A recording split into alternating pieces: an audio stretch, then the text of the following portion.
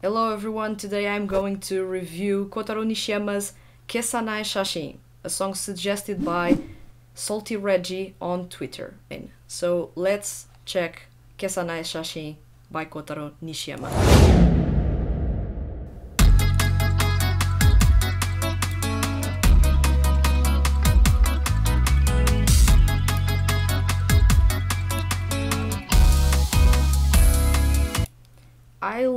The intro because of those um, quick or fast-paced hits or guitar hits. Um, gives a, a certain nostalgic twist to the song, but of course you know that the the real nostalgic touch of the song comes from the background instrumental, the atmospheric synths. Those are the ones that are creating that almost ethereal um, vibe to this song, and it's just the intro itself, but you already know that this song is going to be pretty relaxed in tone. I'm not going to say that in terms of the lyrics or the performance, but so far it seems like it's going to be your textbook Koutaro Nishiyama song that is pretty laid back and has a, a really soothing sound.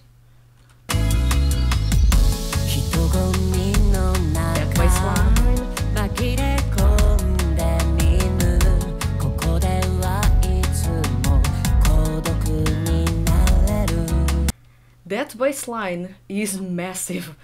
I eh, there's something I really appreciate about Koutaro Nishiyama, at least the way he has his music composed around his voice, because he does have a slightly nasally voice and is really solid on his midtones, but beyond beyond that, he's he doesn't have that much technique, but he does mask that really well with the way that he actually sings. He sings in a whispery way, which is pretty tricky. So, by that alone, he's doing something really unique with the skill set he has, covering for some weaknesses that he may have, but that he is avoiding using those and instead is making the best out of his strength. And that's pretty interesting. I've said it in the review is really really smart him and his producer. They are really really smart in the way that they are making his voice shine and making the the music around his voice and not the other way around. The music itself the bass line is massive and is really low which is unexpected which gives away that this song may be a bit more emotional than you'd expect. That bass line is going really deep perhaps it's go it's going to go off in the chorus. I of course think it will go off in the chorus. But so far it is really really low. I wouldn't say violent but a bit dramatic for sure.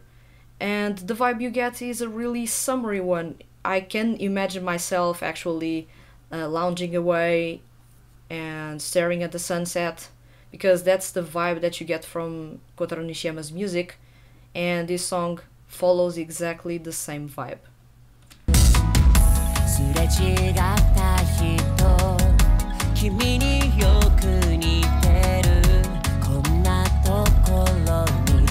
Those guitar riffs are really really good.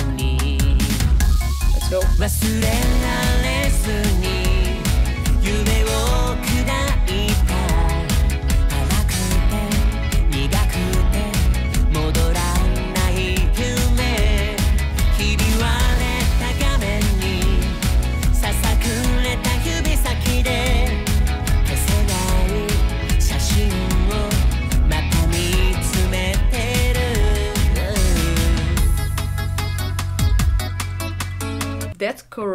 Is exactly how choruses were structured back in the 80s.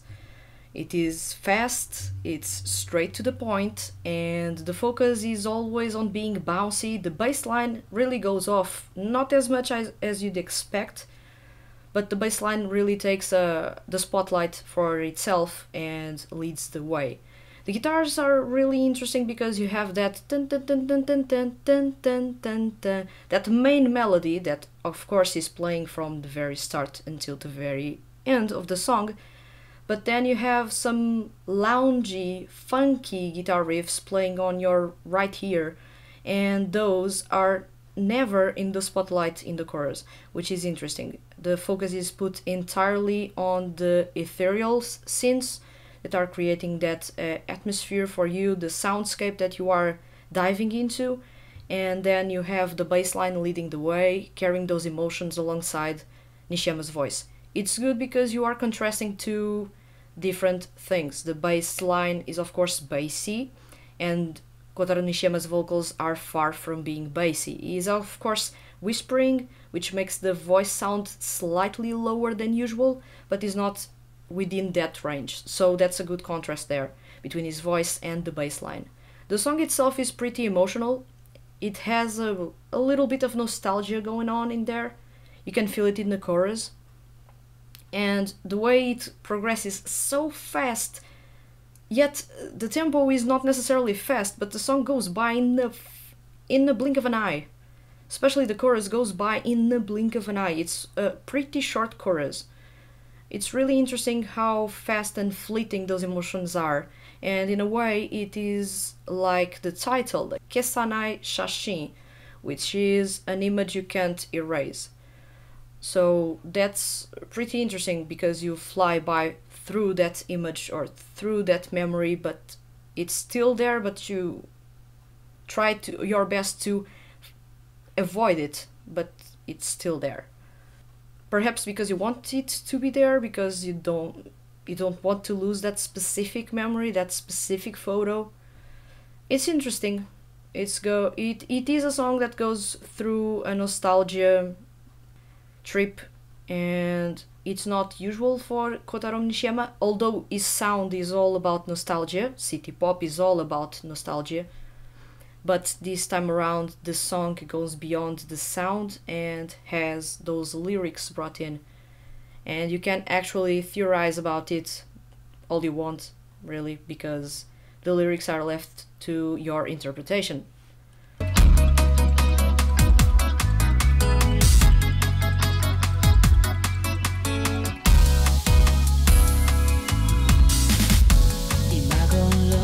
That drum fill was subtle and it felt really well. It was basically the cue to join or to kick off the second verse. The entrance. Muffled vocals. Okay.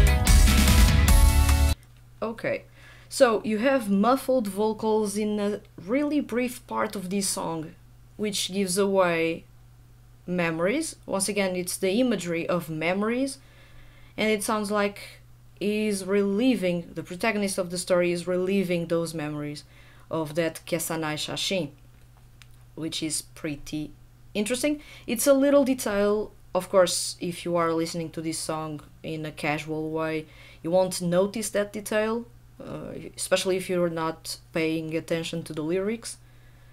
But it complements what is going on in the lyrics and it gives you a concrete imagery by going the muffled way and then shifting to those clean vocals. The, those aren't necessarily too clean. There's a bit of, of wet in the vocals, but still much cleaner than those that are muffled. So muffled vocals are used usually to give way to memories or the imagery of memories in these kinds of songs, of course. There's a multitude of uses for muffled vocals depending on what you want to achieve with the song or, or with a, a performance. In this case, is to tap into the memories and make you go through those as if you are the protagonist yourself. The bridge.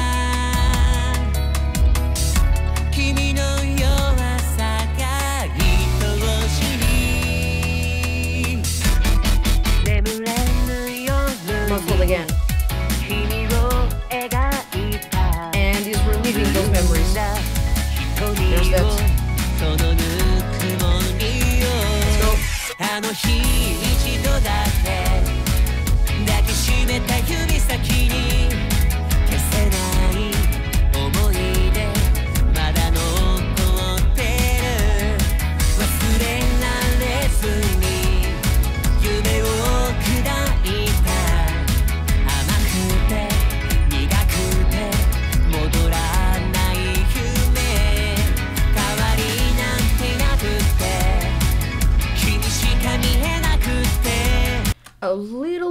going on in the background. There are some synths that make it sound like it's almost like something is slowly dropping from the sky.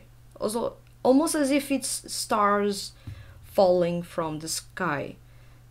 It's not a good way to explain this, but it sounds like something is actually dropping. Uh, it can symbolize a multitude of things. It can it can also not symbolize a thing, and I'm over analyzing it.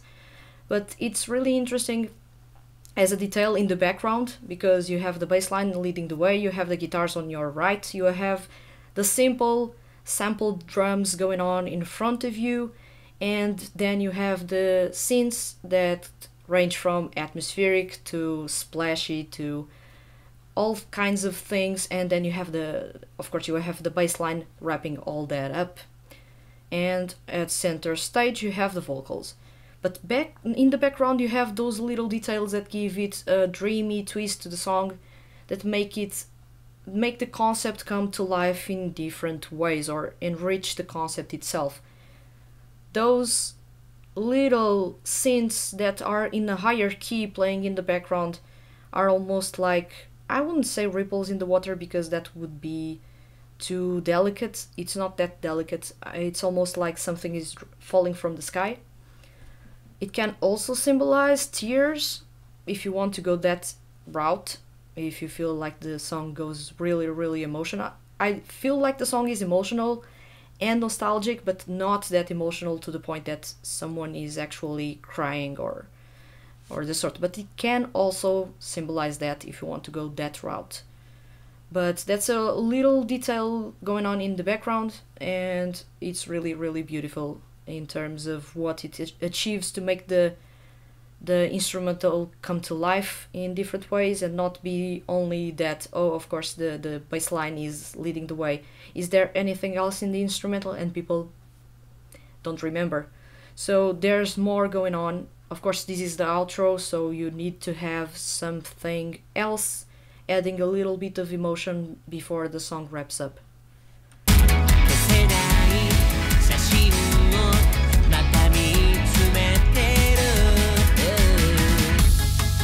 there you go. You start with the main melody, you wrap up with the main melody. That's textbook music composition right there, so oh. Yeah. Okay. That's a different way to wrap up a song. You cut it midway and then you give a false sense of oh the song wraps up. No there's more. Dun, that's long note there on the synth and guitar. Um, Kesanai Shashin was a song that when I was reviewing the CD Laundry I felt like of course I love Highway Cruise. That's my favorite song in the album. But Kesanai Shashin has that nostalgia of a time for people that may be watching this video and they were born in there in 2000 to now. Uh, maybe you won't feel the nostalgia in the song uh, for those like me born in the 90s this song is incredibly nostalgic it almost channels the songs that I listened to when I was a kid. So it's pretty much to say that this song has 80s influences. Of course, Koutaro Nishiyama's music is all about city pop. City pop was really, really big in the 80s in Japan. It is a music genre that is specific to Japan, and he has actually incorporated that music genre in a way that it, it made it sound uh, modern, but still carrying that same nostalgia from back then. So you have a funky song that you can jam to it. It sounds uh, like a modern song, but it still has that twist from being inspired by the the great uh, sound from the 80s, from city pop in the 80s, perhaps even the, the late 70s. So there's that. The lyrics themselves are pretty emotional. You have a lot of nostalgia going on in there. Koutaro Nishiyama's performance is really, really solid. It's is actually a pretty good singer as a solo artist. For what he does, I'm not saying that he should be belting or he should be using vibrato like crazy or even trying to pull off crazy stunts like Toshiki Toyonaga, for example, or Yu Uchida or Soma Saito pull off. That's not the type of singer he is. He's much more contained in the way he performs. He knows what he can do. He knows how he can pull off the things he, wants. So the way he actually tackles his solo career is pretty interesting. Most people watching this video will think, but well, uh, Koutaro Nishiyama doesn't sing really well or particularly well. I do believe he does, and I do believe he's really smart in what he, he is doing. Because both City and Laundry are two of the best albums I've listened in the in the past couple of years. And even really top tier singers, I'm not going to name which ones, uh, can't pull off albums as consistent as his. So that's really something that people should have into attention. It doesn't need to be extremely technical. He needs to know the skills that he has as a singer and the tone he has, what he can achieve with that, what he feels comfortable pulling off. And he does exactly that with each song. Kesanashashin has the emotion it has because of the way he is comfortable performing the song. He's not pulling any crazy stunts with his voice, he's not making it sound overly emotional. It just is performing the song and feeling the lyrics, and the performance speaks for itself. The instrumental, the bass, is the main instrument. Of course, like in all city pop, either it's the bass or the guitar, because those are really, really big. You also have the saxophone, but you didn't have any saxophone in this song, so you can't talk about the saxophone. But the bass lines for his music are always always big and really, really punchy and meaty. I really love a good bass line. Those bass lines that are groovy give off that I I wouldn't say necessarily disco, but it has influences of disco and funk. Once again, it embraces a lot of what city pop is all about. It's a mix of funk, disco, and pop, and made it nostalgic because of the time it was released. Kesanashashin, for me, it's a song that stands out for its good composition. I wouldn't say stellar composition because this is a fairly simple song, but it is extremely effective, which is awesome. Then you have the performance by Koutaro Nishiyama that didn't disappoint at all. He actually gives a really, really good performance, and I find myself every time I hear this song smiling or grinning like crazy and bobbing my head front and back because this song is really, really good. The vibe is amazing. The lyrics, of course, are a bit nostalgic, and you can resonate with those, especially if you have memories you don't want to let go of. So, you have that as well. As a whole, this is a really, really, really good song. And I noticed that not many people actually enjoy it or actually found it good, which is weird. Once again, Koutaro Nishiyama is one of, I would, I would say, out of all Seiyu artists that have debuted in the last couple of years is really underrated but he's really a good singer, and his music is always a treat to listen to, especially if you like to go back in time and revisit or times that you didn't leave, or times that you lived and you long for again. So you have that as well. All in all, Kesanai Shashin by Koutaro Nishiyama is an amazing song. Thank you very much, Reggie Salty, for suggesting this song.